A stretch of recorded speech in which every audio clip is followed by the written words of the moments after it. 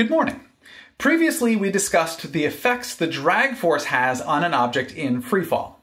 Today, we are going to use calculus to actually derive the equations of motion for an object with an initial velocity of zero and a drag force acting on it. It looks like this in real speed. At 40 times slower than real speed, you can see the dodgeball starts with an initial velocity of zero and, as it falls, the drag force acts up on the ball. The force of gravity acts down on the ball, and realize I have exaggerated the magnitude of the drag force in the free body diagram. If I drew it to be proportionally correct relative to the force of gravity, it would be too small to see on the screen. Let's use the drag force equation, which has the drag force literally proportional to velocity. Drag force equals the negative of the proportionality constant times velocity. Defining down as positive, Bobby, please determine the terminal velocity of the dodgeball. Flippin' physics. Down is positive. Determine the terminal velocity of the ball. But this dodgeball does not reach terminal velocity, right, Mr. P? Okay, so yeah, the, the dodgeball in this demonstration does not get close to its terminal velocity. However, it is going to be helpful later in our equation derivations to have the equation for the maximum speed the ball could attain, or terminal velocity. Bobby? Let's use Newton's second law. The net force in the y direction equals, well, we defined down as positive, so positive force of gravity minus drag force, and that all equals mass times acceleration in the y direction. Uh, At the maximum velocity or terminal velocity, the acceleration of the ball reaches zero, so the drag force equals the force of gravity. We can substitute in proportionality constant times terminal velocity for drag force and mass times acceleration due to gravity for force of gravity. That means terminal velocity equals mass times acceleration due to gravity over the proportionality constant. What happens to the negative in the drag force equation? Oh, that negative gives the direction of the drag force. By drawing the free body diagram and identifying the drag force to be in the negative y direction, we have already identified the direction of the drag force and do not need to include that negative. Yeah, and that is called deja vu. Thank you, Bobby. Now we are going to use that same equation to determine the velocity of the ball as a function of time. However, rather than looking at what happens when the acceleration reaches zero, we are going to substitute the derivative of velocity with respect to time in for acceleration. Now we have a differential equation we can use to solve for velocity. We just need to do the math. Right. Here we go. Divide the whole equation by mass and put the derivative of velocity with respect to time on the left side of the equation. Then divide the whole equation by acceleration due to gravity minus proportionality constant times velocity divided by mass and multiply through by dt. Now we have dv on the left-hand side with all the variables that have velocity in them, and dt by itself on the right-hand side. Now we can take the integral of both sides of the equation. On the left-hand side, we are taking the integral with respect to velocity. On the right-hand side, we are taking the integral with respect to time. Let's use a definite integral because we know the initial velocity equals zero. It starts from rest. And let's let the final velocity equal v. Let's set the initial time equal to zero and the final time equal to t. That way, we are solving for velocity v as a function of time t. Okay, who has ideas about how to integrate these equations? Well, the integral of dt is just t, so that is easy. Right, but what about that integral with respect to velocity? I, I do not know how to do that. Oh, we use u substitution. I, I love u substitution. Yeah. Uh, let, let u equal the acceleration due to gravity minus proportionality constant times velocity divided by mass. That means du equals, well, the, the constant g has no v in it, so we are left with negative proportionality constant over mass times dv. Solving for dv gives dv equals negative mass over proportionality constant times du. Now we have the integral from 0 to u of 1 over u times the quantity negative mass over proportionality constant, all with respect to u. Actually, mass and proportionality constant are constants, so we can take them out from underneath the integral and the negative as well. Actually, I'm not sure you did the limits for u correctly. the initial velocity equals zero. So for u initial, we plug in zero for velocity in the expression g minus b times v all over m, and we get that u initial equals g, the acceleration due to gravity, not zero. Right. Thanks, Bo. Uh, but velocity final equals v, so u final does equal u. Yeah. Very nice, Billy, and thank you both. Now we can take the integrals. The integral of 1 over u with respect to u equals the natural log of u. The integral with respect to time equals time, as Bo pointed out. We still have our limits of g, u, 0, and t. However, now we can substitute back into our equation what u is equal to and change those limits again to 0 and v instead of g and u. Bo, please continue from here.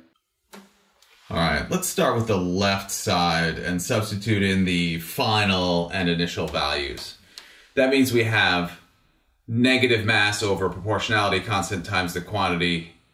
Well, it's it's final minus initial, so the natural log of acceleration due to gravity minus proportionality constant times we we substitute in v there for final velocity divide by mass and then minus the natural log of the same thing only we substitute in zero for the initial velocity. That just works out to be the natural log of the acceleration due to gravity oh one of the natural log rules is that the natural log of a minus the natural log of b equals the natural log of a divided by b that means we can change it to the natural log of the quantity g minus b times v over m, all over g. Uh, let's deal with the right-hand side now. That's just time final minus time initial, or time t minus zero, or just time t.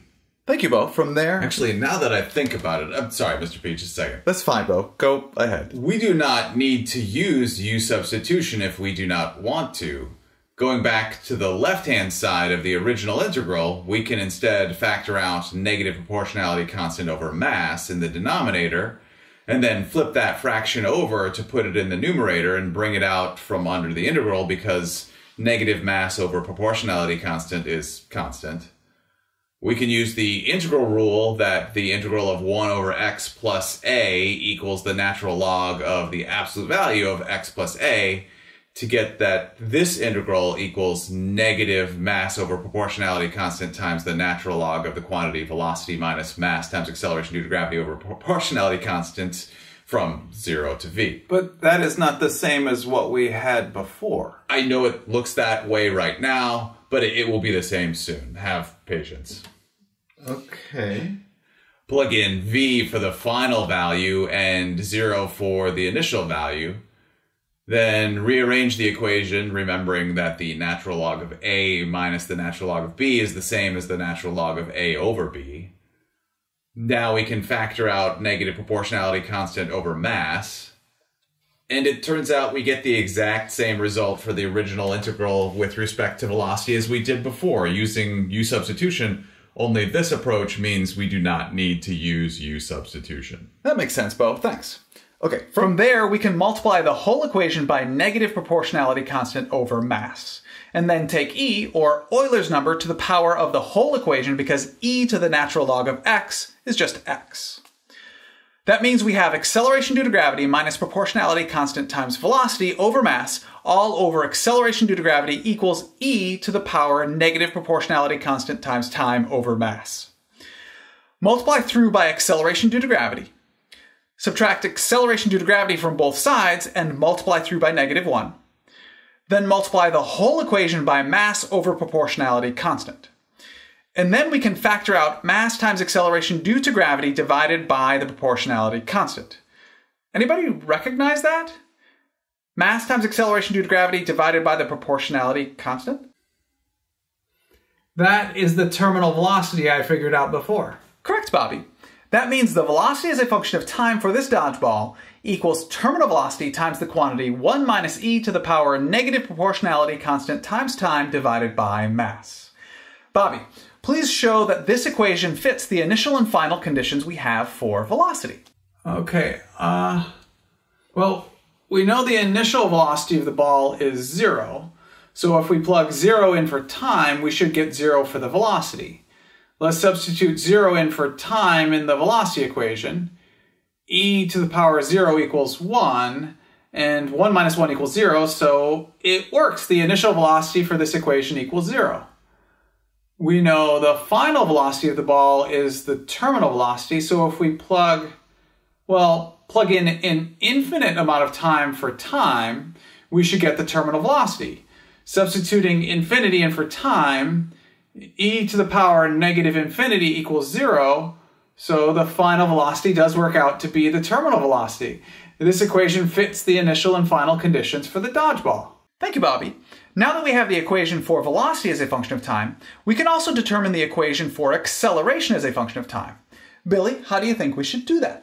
Well, the equation for velocity is velocity as a function of time equals terminal velocity times the quantity 1 minus e to the power negative proportionality constant times time divided by mass. And we are trying to determine acceleration as a function of time. Actually, it will be a little bit easier if you back up one step and leave mass times acceleration due to gravity over, over proportionality constant in the equation. Sure, but how do we get acceleration from velocity? Acceleration is the derivative of velocity with respect to time. Oh, right. Correct, Bo. And can you use that to determine the acceleration of the ball as a function of time, please, Bo? Sure. Acceleration equals the derivative of velocity with respect to time. So it equals the derivative of the equation Billy just identified. To make it easier to understand, let's take the derivative of each term in that expression. The derivative of mass times acceleration due to gravity over proportionality constant is zero because all those are constants and do not change with respect to time. We then subtract the derivative of the next term, which equals, well, the derivative of a bunch of constants times e to the power. Um, We get to use the chain rule. All right, the chain rule, thanks. But how do we do that? Actually, it's on the AP equation sheet. I Oh, always yeah. forget about that. Right. Do not forget that you get an equation sheet on the AP exam, and it has a section of common calculus rules. Right. From the equation sheet, we know the derivative with respect to x of e to the power a times x equals a times e to the power a times x. Yeah, it uses the chain rule. That means the derivative with respect to time of e to the power negative proportionality constant times time over mass equals the derivative with respect to time of what's in the exponent or negative proportionality constant over mass all times e to the power negative proportionality constant times time divided by mass. Plugging that back into our equation, well, mass times acceleration due to gravity over proportionality constant are all constants, so those just remain multiplied by what we just got using the derivative. Mass and proportionality constant cancel out, and we are left with, well, a negative times a negative equals a positive, so acceleration as a function of time equals acceleration due to gravity times e to the power of negative proportionality constant times time over mass. Thanks, Bo. Billy, talk about the limits, please. Yeah, uh, at time equals zero, the acceleration works out to be just the acceleration due to gravity. And that makes sense because the initial velocity equals zero, so the initial drag force equals zero. So right at that initial moment, the ball is in free fall and has an acceleration equal to the acceleration due to gravity downward. At time equals infinity, the acceleration works out to be zero. All right. Because the ball is moving at terminal velocity, again, not this ball, but a hypothetical one which has enough height to reach terminal velocity, and at terminal velocity, the acceleration of an object equals zero. This equation checks out when we compare it to our limits. Correct, Billy. All right. Now let's figure out what the graphs of these two functions look like, starting with acceleration as a function of time. Acceleration equals the constant number little g, or the acceleration due to gravity, times e to the power negative proportionality constant times time over mass, or because the proportionality constant and mass are constants, it is just e to the power negative constant values times time. To determine what the shape of that curve looks like, recall that y equals e to the power x has a, is a graph that way, way over here where x has a large negative value, the curve starts at zero. The curve has a y-intercept of 1, is concave up, and has no vertical asymptote. y equals e to the power negative x just flips that curve over the y-axis. Our acceleration as a function of time equation is only valid for times starting at zero, therefore our graph has no values for negative time. Also, rather than starting at 1 at the initial time of 0, the acceleration starts with a value of g, because the equation is multiplied by g. Therefore, our acceleration is a function of time graph. From time 0 to the time it takes to reach 99% of terminal velocity looks like this. The initial acceleration has a value equal to the acceleration due to gravity. Over time, it decreases and asymptotes at 0 and the curve is concave up. But what about the velocity as a function of time graph? Please explain what that will look like. Well, the velocity as a function of time equals the terminal velocity times 1 minus e to the power negative proportionality constant times time over mass. So, well, the, the shape will be like y equals 1 minus e to the power negative x. We just graphed e to the negative x.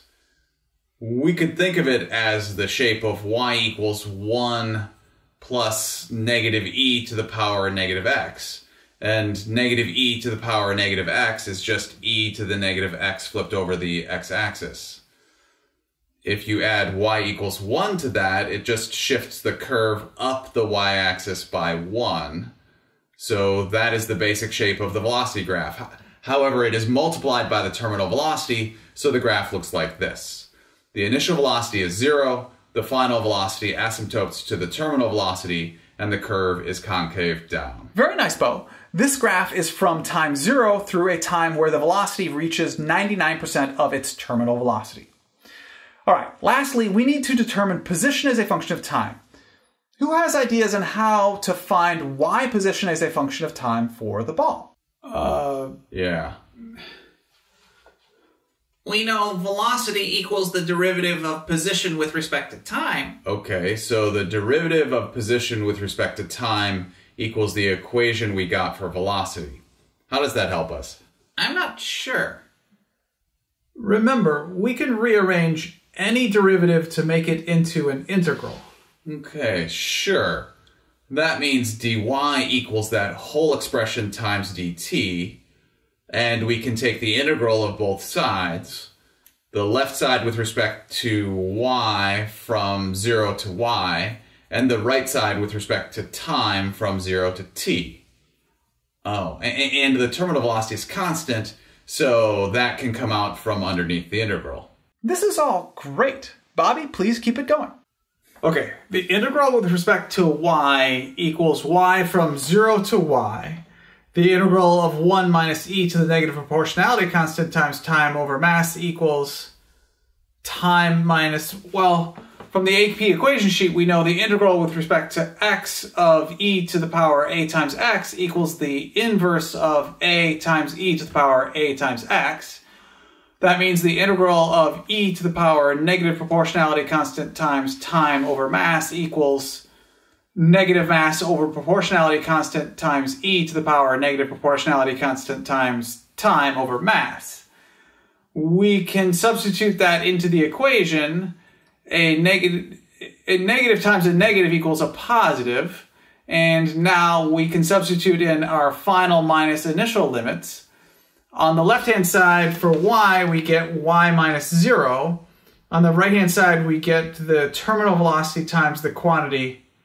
Oh boy, well, we just substitute in t for time in that expression and then subtract substituting in 0 for t in that same expression. e to the power 0 equals 1. Multiply through by terminal velocity and factor out mass divided by proportionality constant we get the y position as a function of time for the ball to equal terminal velocity times time plus mass times terminal velocity over proportionality constant times the quantity e to the power negative proportionality constant times time divided by mass and then minus 1. Yeah.